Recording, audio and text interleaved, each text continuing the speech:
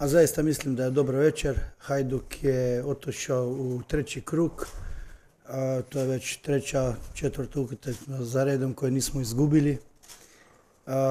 zahvalio bi se u prvom redu sjajnoj publici koja nas je tamo u 88. minuti kad su se digli na noge sjever, pa onda e, jug, pa svi ostali, pa onda dignuli time i zapad i podržali se momke koji su baš padali u igri, sve ostalo. Zbog toga je stigao gol Frenka, 2-1, to je pobjeda.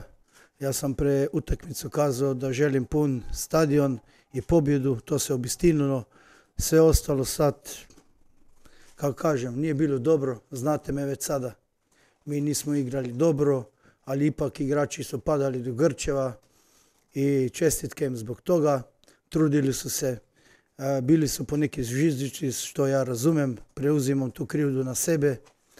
Vidim da po neki još uvijek traže izlaz i alibi. To je bio jučerašnji trening, neki ste zapazili prekjuče, kao mi previše treniramo.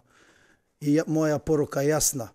Mi ćemo trenirati još više i bolje i jače i nećemo stati i neću da popustim nijednom igraču i nijednim igračima da šire po, po gradu okolo navijačima kao mi previše treniramo, oni nisu sveži da igraju utakmicu. Hajduk još nije počeo trenira, još nisam napravio intervalni trening četiri puta, četiri minuta, dvije serije, a šta tek tri serije, a šta tek četiri. Znači mi treniramo sad zajedno mjeseci po dana i da kažem kao kadeti, kao malo neki malo ozbiljnije seniori i još više će ovi momci tršćati i još više će padat i još više će ih hvatat grčevi.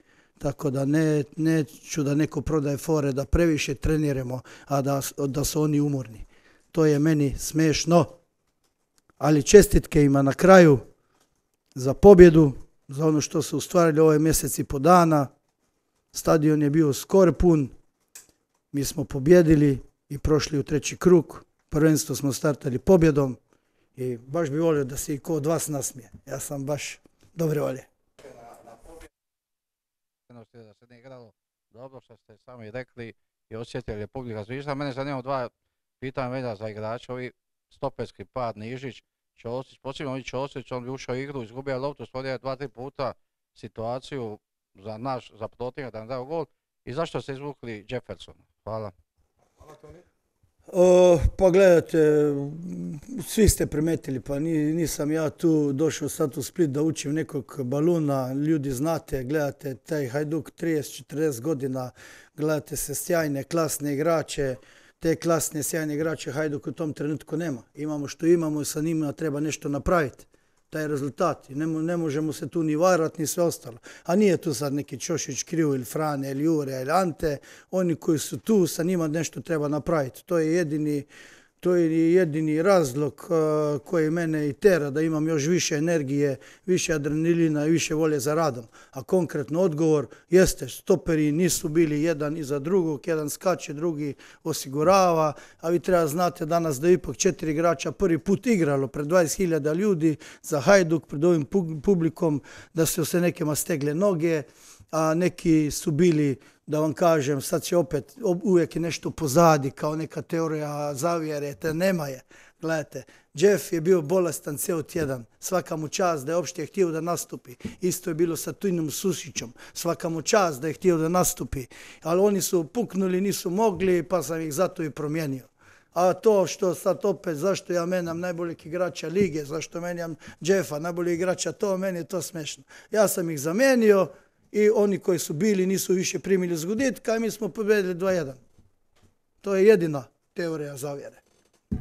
Trener taj Grč koji ste spomenuli, koji je sigurno razlog za veliki broj pogrešnih dodavanja, sad ovim prolaskom, ajmo reći probijanjem leda je, e, vjerovatno će u momcima u sljedećim utakmicama biti lakše. E, koliko će biti lakše to što nakon ovolikog napora danas u nedjelju ipak nema utakmice, nego se već možete okrenuti pripremama za Ukrajince? Uh, gledajte, ja znam, ja sam stegao malo te treninge, sve ostalo, ja znam da su oni umorni pošto nisu navikli. Još jedan put moja priča ostaje ista. Ali nisam ja tu sad zaista napišite, nisam ni neki kreten. Oni imaju slobodnu subotu poslijepodne i nedjelju, tako odmorit ćemo ih, normalno, za, zavredili su to, ali svejedno, još jedan put poruka, mi ćete trenirati više, ne manje, više, gospodu, više. Mi smo igrali, neću da upotrebim neku reč, ko k, mi smo igrali loše, ali mi smo prošli i dajte nasmijete se, zaista molim vas, nasmijete se, dajte ovima svima tamo publike aplauz i igračima koji su padali po podu aplauz. A ono što su sve te sad fore, kao mi previše treniramo, ne možemo, sve ostalo to. Vi ste publika i vi ste ovi, da vam kažem, novinar sedma sila, koji ipak znate ili tu neki određen kvalitet, ali nije. A ja ne mogu igračima ništa zamjeriti da vam kažem. A zaista su se borili. Ne mogu kazati da se ko šetao, ne mogu kazati da, ko je, da je ko bio loš, ali takav kvalitet sad u tom trenutku Hajduk ima. Šta ćemo sad? Radit ćemo još više. O treneru samo jedan detalj o igri nas zanima. Je li mislite da je fizički hendikep glavni problem što su na linije u zadnjih desetak minuta popuštale, velika razlika se stva- stvarala, na kraju to je presudilo jer smo iz kontre riješili pobjednik. Jel može kontra pitanje? Kad je posljednji put izgubila, izgubila ova momčad zelena što smo igrali protiv nje Jaši? Deset mjeseci, jel tako? Ako je ko njih podcjenjivao, onda se gadno varao. Ovi ljudi nisu izgubili protiv Dinama iz Bukurište, nisu protiv Steaue, držali su nulu, držali su nulu.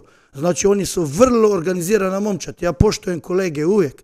On je italijan, oni stoje skupa, oni igraju nogomet, njihova vezna linija, ova dva igrača, Georgiju, Mitić, oni su naševali prvo polovreme. A ševali su, pošto naši nisu bili zajedno, nisu skupa trčali i ništa od presinga, ni P od presinga. A bilo je P od igre. Marijan, je li Onaj mislite da je stvar kvalitete ili da smo mi bili fizički A neko ja nik- nikad neću ja kazati da imam loše igrače, imam najbolje igrače na svijetu. To je Hajduk, ej, najbolji igrači na svijetu. Šta ste mi htjeli, povući za jezik da kažem da su oni loši? Nisu, oni su najbolji. A još će biti bolji. Moram priznati da nismo navikli na ovakve ovaj, presice, ovako otvoreno, ovo sve KP i ovako ove... A šta ste vi mislili? Ja sam mislio neko lepo reći, a šta ste vi mislili?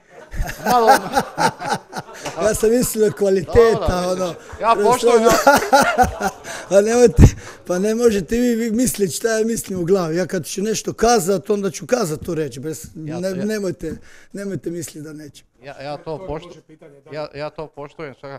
Međutim, to će izaći u medije, sami ste rekli ove izjave igračima KP, kako će to oni doživjeti? Oni imaju kvalitet, to ste htjeli, K. Oni imaju kvalitet, a nisu ga pokazali danas, to je K. To je K, jel? Jeste, Onda oni sam imaju krivo- kvalitet. Onda sam krivo razumio. Ja, niste vi razumjeli.